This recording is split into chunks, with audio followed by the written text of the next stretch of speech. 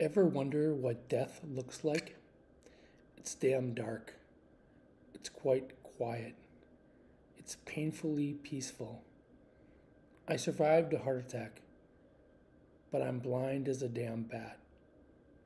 Allergy to the contrast used to place my stents.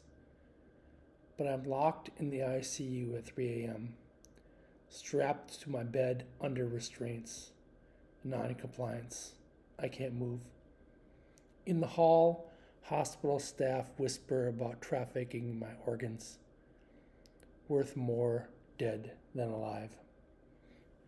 Heart has two stents now. Defective price drop. Scratch and dent. Voided warranty, they whisper.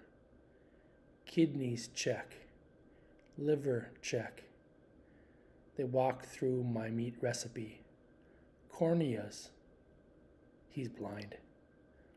Was I also mute? I couldn't yell out. I'm alive, damn it. A nightmare. A memory.